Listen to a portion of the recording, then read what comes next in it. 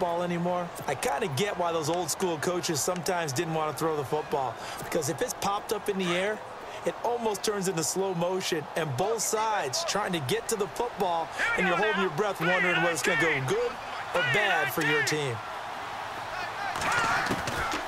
They'll set up to throw.